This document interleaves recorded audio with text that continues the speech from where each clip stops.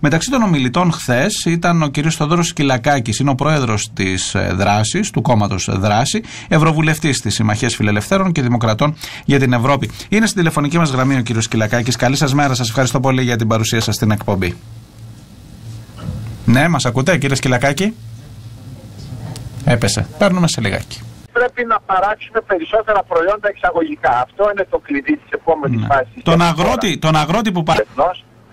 Ε, είναι αδύνατο να κάνουν εμπόριο σοβαρά και είναι θύματα των μεσαζόντων όταν δεν έχουν μέγεθος. Το καταλαβαίνουμε. Αλλά το μέγεθος δεν σημαίνει ε, κομματική συναλλαγή.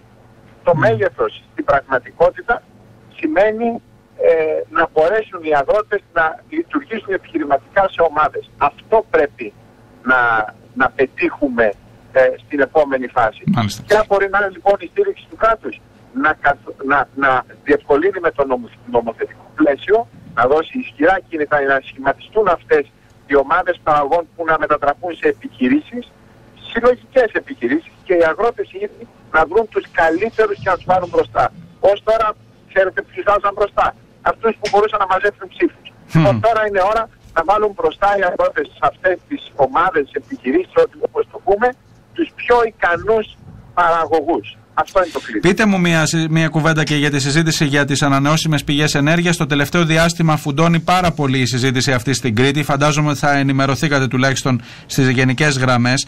Ε, ο Δήμος που περιγράψατε πιο πριν, ο ανεξάρτητος όταν θα γίνει έτσι ισχυρός δυνατός θα πάρει μια πρόσκληση από μια ιδιωτική εταιρεία και θα πει ότι στο βουνό σας εγώ έχω πάρει την άδεια από τη Ρυθμιστική Αρχή Ενέργειας να βάλω αυτές τις ανεμογεννήτριες. Έχει ερωτηθεί ο Δήμος, έχουν ερωτηθεί οι κοινωνίες, έτσι αυτό θα είναι το μοντέλο που θα δουλέψει. Αυτό γίνεται στην Κρήτη ε, σήμερα.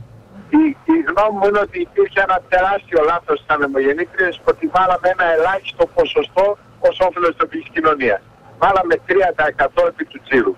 Εάν το ποσοστό ήταν μεγαλύτερο, ειδικά στην πρώτη φάση που οι ανομογεννήτριες είχαν πάρα πολύ ψηλά ποσοστά ε, κέρδους, θα ήταν εξαιρετικά ευπρόσδεκτες από τις τοπικές ε, κοινωνίες. Και να χαλάσει το βουνό αν πάρουμε περισσότερα χρήματα, δηλαδή αυτό λέει η, η, η επικουρικότητα. Ε, ε, βεβαίως, γιατί η επικουρικότητα λέει ότι η πηγή αυτή καταρχήν ανήκει στον τόπο, δεν ανήκει στο κεντρικό κράτος. Εμάς στο δικό μας κράτος έχουμε θεωρία ότι τα πάντα ανήκουν στο κράτος και αυτά τα παραχωρεί στον πολίτη. Ενώ η φιλελεύθερη αντίληψη είναι ότι ε, σε μια τοπική κοινωνία οι πηγές ανήκουν στην τοπική κοινωνία και βεβαίως υπάρχει και μια αναδιανομή σε ένα γενικότερο όφελος αν κάποιος έχει ε, ε, μια μεγάλη πτωπαραγωγή. Πάντως είναι ενδιαφέρον, δεν ξέρω αν προκαλεί και σε εσάς εντύπωση το γεγονός ότι και η φιλελεύθερη ιδεολογία και ενδεχομένως κάποιες άλλες μιλούν για ισχυρούς φορείς της αυτοδιοίκησης. Είναι ο κύριος Κυλακάκης ξανά. Ελάτε, ε, κύριε Σκυλακάκη, με προβλήματα η, συν, η συνομιλία μας. Προ, προβλήματα πράγματι, γιατί είμαι στον δρόμο προ το ναι. και εκεί που ήταν αιμογεννήτριες που μόλις έβλεπα.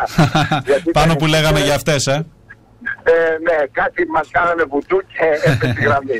Τέλος πάντων, λέτε ότι θα μπορούσε με ένα καλύτερο κίνητρο οικονομικό κυρίως να πιστούν πιο εύκολα οι κοινωνίες. Αν κατάλαβα καλά, αυτό λέτε. Άσχετα όμως από το περιβαλλοντικό αποτύπωμα. Ναι, ναι.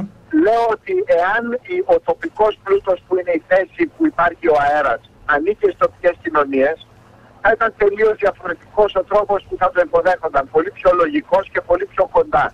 Μάλιστα. Πρέπει αυτές οι αποφάσεις να είναι πολύ πιο κοντά στην τοπική κοινωνία. Αυτό λέω. Μάλιστα. Δώστε μου και ένα στίγμα για το πολιτικό σκηνικό και για τη θέση της δράσης μέσα στο πολιτικό αυτό σκηνικό. Πώς βλέπετε να διαμορφώνεται το επόμενο διάστημα; Κοιτάξτε, εμείς λέμε κάτι πολύ απλό. Ότι το σημερινός αριθμό δεν βγαίνει και για να βγει πρέπει να πάμε σε λιγότερους φόρου, μικρότερο κράτος, γιατί άμα δεν έχει μικρότερο κράτος, πώς θα πληρώσει λιγότερους φόρου mm-hmm. και λιγότερο κομματισμό στο κράτος. Αυτό είναι κάτι που, αν θέλετε, δυστυχώ το λέμε μόνο εμείς τη ουσία.